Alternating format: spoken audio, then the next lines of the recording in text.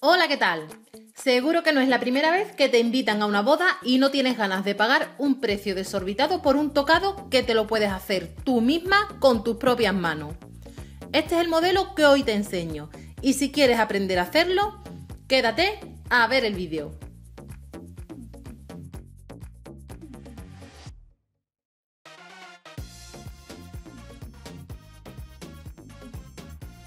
Rollos de Sinamai de 10 centímetros, un peinecillo, este es metálico, entretela, fieltro,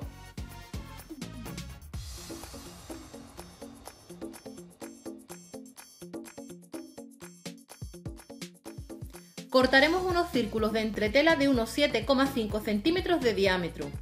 Los sujetaremos al fieltro con un alfiler y cortaremos dejando un margen de medio centímetro por todo el contorno. Retiramos los alfileres, ponemos un círculo sobre otro y con aguja e hilo vamos a coser todo el borde. Esto también lo podéis coser a máquina. Esta será la base de nuestro tocado. Al sinamay le iremos haciendo unos pliegues formando tablas. Yo no suelo cortar todo el rollo hasta que no tengo tablas suficientes.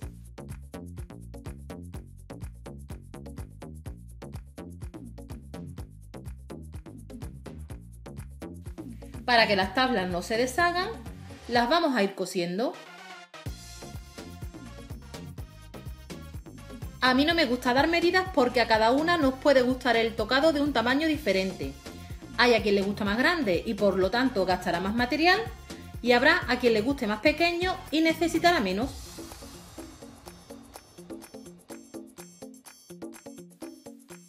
Con el otro color vamos a hacer igual, pero antes de hacer las tablas le haremos un pliegue por todo el lateral para que quede un poco más estrecho.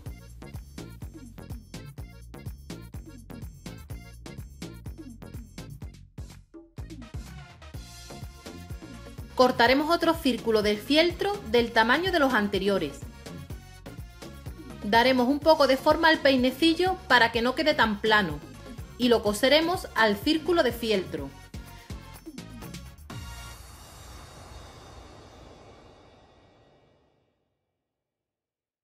Nos tiene que quedar muy sujeto.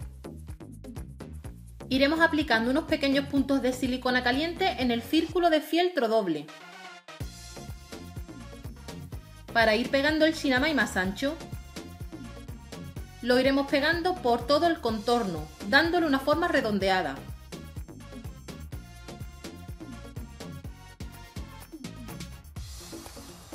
Cuando hayamos rodeado todo el círculo, cortamos el sobrante, doblamos hacia adentro para que no se deshaga y cerramos aplicando más pegamento caliente.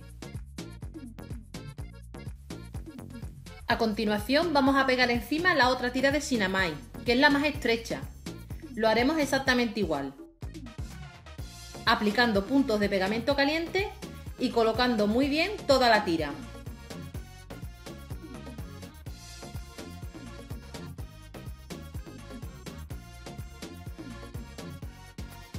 Cuando hayamos dado toda la vuelta, cortamos el sobrante doblamos para que no se deshaga y pegamos.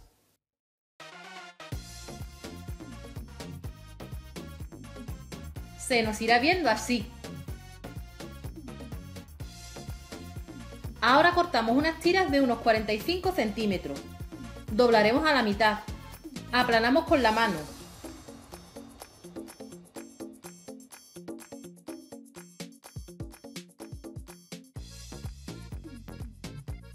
doblamos por la esquina, damos una vuelta y vamos a ir haciendo pliegues.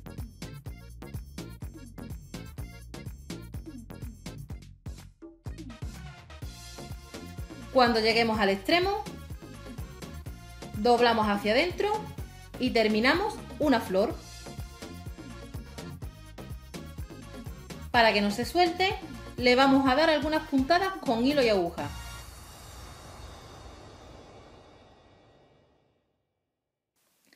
y la abrimos un poco para que quede más bonita.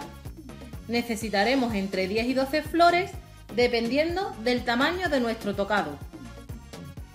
Estas flores las pegaremos al centro del tocado, la parte estrecha hacia adentro y la ancha hacia afuera.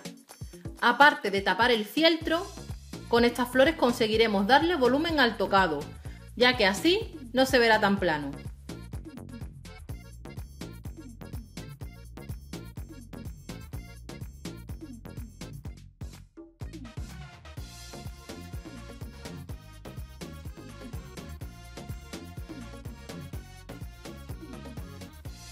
Y ya para terminar, pegamos el trozo de fieltro al que habíamos cosido el peinecillo a la base del tocado.